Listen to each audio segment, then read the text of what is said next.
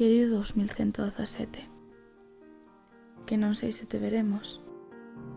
Cando estés destrozado acórdate dos que algo fixemos. Dos que intentamos cambiar a forma de pensar da xente. Dos que quixemos que os nosos fillos tivesen un futuro mellor. Todo de agora xa non será nada. Nada de nada. Gozámolo todo. Auga, estacións, biodiversidade, verde, sensacións, felicidade, que moita xente non o valora, nin se preguntan como será este cambio, que non creen no cambio climático.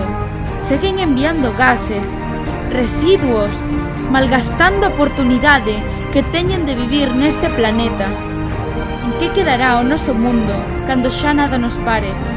Cidades inundadas quedarán no olvido, sequías deixaránche sin cultivo e estancado na pobreza. O verde que hoxe coñecemos será destituído polo amarelo. Olas de calor e frío matarán as túas persoas queridas. 4 graus de temperatura, nada máis e nada menos. Enfrontaredes vos ao fenómenos que nin sequera coñecemos. Porque hai que cambiar. Cambiar porque todo isto é e será real.